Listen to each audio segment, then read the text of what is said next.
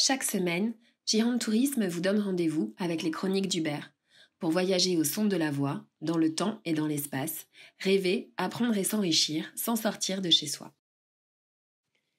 Aujourd'hui, nous vous emmenons à Vers, son village, son église et son très très beau château, perché sur un éperon rocheux au confluent de la Dordogne et d'un de ses affluents, le Gestas. À peine arrivé, s'offre à nous une vue étendue sur la rivière, très large à cet endroit, sur la plaine et les coteaux de la rive droite. Un vrai bonheur pour les yeux. Mais intéressons-nous un peu à son histoire.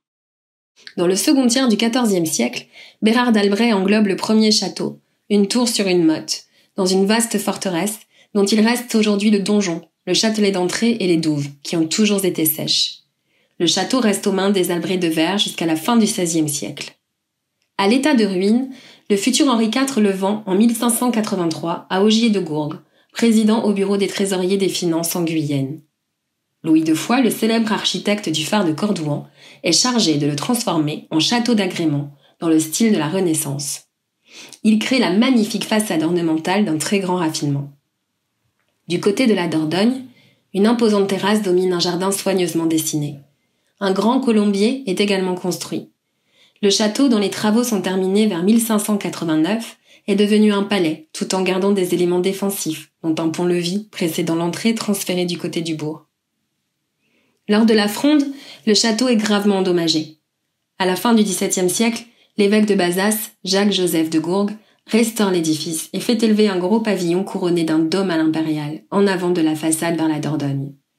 Sous la terrasse, un passage est percé, menant de la cour à un portique d'où un escalier à plusieurs courses conduit vers le jardin des transformations ont été effectuées au XIXe et XXe siècle, surtout à l'intérieur, dont le décor a été restauré.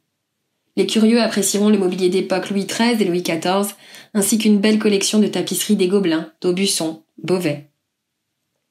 Le parc d'un grand intérêt comporte un jardin à la française en bordure de la rivière, un jardin médiéval et un parc à l'anglaise. On y voit souvent les enfants s'y dégourdir les jambes et les curieux se promener jusqu'au bord de l'eau.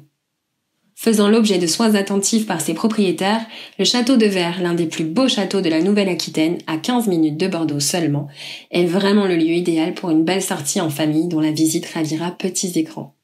D'ailleurs, de nombreuses animations sont souvent organisées en direction des plus jeunes. Une visite que votre tribu adorera, on vous le garantit.